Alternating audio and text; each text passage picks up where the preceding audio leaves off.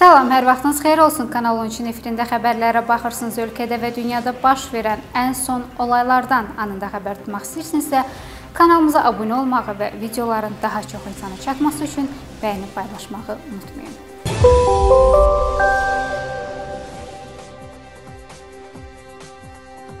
Azərbaycanda vətəndaşlarla bağlı qalmaqallı açıqlama verən və tənqidlərə səbəb olan daha bir vəzifəli şəxs işdən çıxarılıb. Məlumata görə vətəndaşların taksidən istifadəsi ilə bağlı qalmaqallı çıxışı ilə gündəmə gələn Bakı Nəqliyyat Agentliyinin şöbə müdiri Hikmət Babayev vəzifəsindən uzaqlaşdırılıb. Bu barədə qurumun mətbuat xidmətinin rəhbəri Mais Ağayev məlumat verib. Xatırladaq ki, Bakı Nəqliyyat Agentliyinin şöbə müdiri Hikmət Babayev efirdə çıxışı zamanı səsləndirmişdi ki, taksidən istifadə etmək əvvəllər olduğu kimi bəlli imkanlara bağlı olmalıdır. Taksiləri gündəlik nəqliyyat vasitəsinə çevirmək düzgün deyil. Bunun üçün müntəzəm marşrut xətləri mövcuddur, deyə o bildirmişdi. Yeni Azərbaycan Partiyası çox da alışılmayan gözlənilməz bir bəyanatla Rusiyanı və onun Ermənistana silah dəstəyini hədəfə alıb. Sənəddə bildirilir ki, Rusiyanın ermənipərəst mövqeyi ilə fərqlənən Regnum İnformasiya Agentliyi 4 sentyabr tarixli Dağlıq Qarabağın yeni ümidləri adlı məqaləsində Rusiya tərəfindən Ermənistana yeni silahlar göndərildiyini təsdiq edib. Məlumatda yazılır ki, ənənəsinə uyğun olaraq Ermənistan-Azərbaycan Dağlıq Qarabağ münaqişəsinin tarixi, mahiyyəti və nizama salınması ilə əlaqədar real faktları ən kobud şəkildə təhrif etməkdən çəkinməyən edilməyən agentlik 2020-ci ilin iyul ayında Azərbaycanın Tovuz rayonu istiqamətində erməni silahlı qüvvələrinin təxribatı sayəsində başlayan döyüşlərin gerçək səbəblərinin tamamilə yanlış və açıq qərəzli şəkildə təqdim etməyi də unutmayıb. İqtidar partiyasının mövqeyinə görə sözügedən agentlik iyul döyüşlərindən sonrakı vəziyyəti Bakının Ermənistana yeni Rusiya silahlarının göndərilməsinə sərt və acıqlı reaksiyası kimi qiymətləndirməklə əslində iyul döyüşlərinin ardınca Rusiyanın təcavüzkar Ermənistanı silahlandırdığını təsdiq edib. Günlərdir Azərbaycanda, Türkiyədə, Ermənistanda və Rusiyada maraqla gözlənilən Azərbaycan və Rusiya Müdafiə Nazirləri rəsmilərinin görüşü gerçəkləşdirilib. Məlumata görə sentyabrın 3-də Bakıda Azərbaycan və Rusiya Müdafiə Nazirlərinin müavinləri Kərim Vəliyev və Ruslan Salikovun görüşü olub. Tərəflər Bakıda hərbi və hərbi texniki sahələrdə qarşılıqlı çalışma məsələlərini müzakirə ediblər. Bu əməkdaşlığın daha da gücləndirilməsinin önəmini vurğulayıblar. Bu barədə Müdafiə Nazirliyinin mətbuat xidmətinin məlumatında deyilir. Vəliyev Dağlıq Qarabağ münaqişəsinin Azərbaycanın ərazi bütövlüyü çərçivəsində beynəlxalq hüquq normaları və prinsiplər əsasında həllinin önəmini bildirib. Öz növbəsində Salikov qeyd edib ki, tarixi köklərə bağlı olan ölkələrimiz strateji tərəfdaşdılar. Bu cür görüşlərin keçirilməsi Azərbaycan-Rusiya münasibətlərinin inkişafı baxımından mühüm rol oynayır.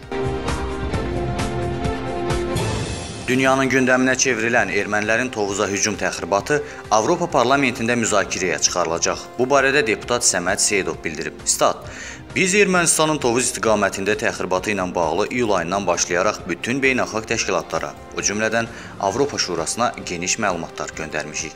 Bu məsələ AŞPA-nın iki komitəsində ciddi şəkildə müzakirə olunacaq. Statın sonu. Milli Məclisin Beynəlxalq Münasibətlər və Parlamentlərarası Əlaqələr Komitəsinin sədri Səməd Seyidov bildirib ki, AŞPA-nın monitorinq və siyasi komitəsinin gündəliyində artıq bu məsələ var.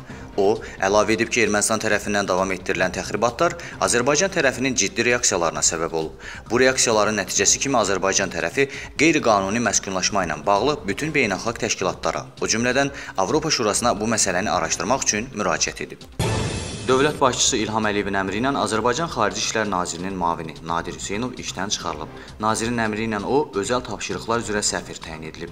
İlham Əliyevin başqa bir fərmanı ilə Fariz Rzayev Xarici İşlər Nazirinin müavini təyin edilib. Rzayev birinci vitse-prezident Mehriban Əliyevanın katibliyində işləyirdi. Bildirək ki, işdən çıxarılan Nadir Hüseynov bir neçə əməkdaşı bu yaxınlarda korrupsiya və sui-istifadə ittihamı ilə həbs olunan Xarici İşlər Nazirliyinin konsulluq xidmətinə nəzarət edirdi.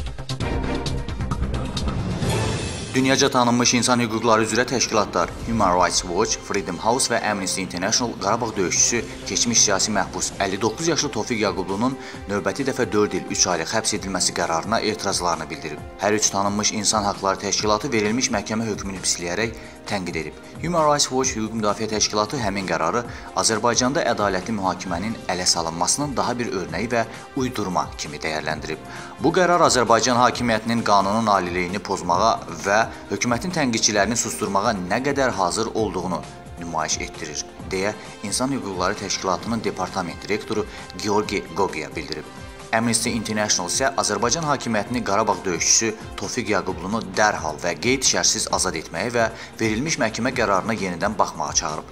Təşkilatın açıqlamasında Tofiq Yaqublu vicdan məhbusudur və onun həbsi Azərbaycan hakimiyyətinin siyasi müxalifəti və söz azadlığını boğmasının daha bir nümunəsidir ifadələrinə yer verilib. Açıqlamanı Amnesty International-ın Cənubi Qafqaz üzrə araşdırmaçısı Natalya Nozadze bildirib. Freedom House təşkilatı isə Qarabağ qazisinin yenidən həbs edilməsini Azərbaycanda repressiyaların güclənməsinin örnəyi kimi qiymətləndirib. Tofiq Yaqublu və siyasi motivli ittihamlarla həbs olunan digər onlarla vətəndaş sərbəst buraxılmalı və onlara qarşı ittihamlar ləğv edilməlidir deyə açıqlamada bildirilir. Freedom House-un Avropa və Avrasiya üzrə proqram direktoru Mark Berendit Yaqublunun həbsinin hökumətin tənqidçilərinə qarşı gücləndirilmiş baskıların hakimiyyətin söz azadlığı, qanunun aliliyinə açıq şəkildə məhəl qoymamasının göstəricisi olduğunu qeyd edir. Stat: Azərbaycan hakimiyyəti COVID-19 pandemiyasından və bununla əlaqəli məhdudiyyətlərdən müxalifəti susturmaq və təqib etmək üçün bir fürsət kimi açıq şəkildə istifadə edir. Yaqublu və siyasi motivli ittihamlarla həbs olunan digər onlarla vətəndaş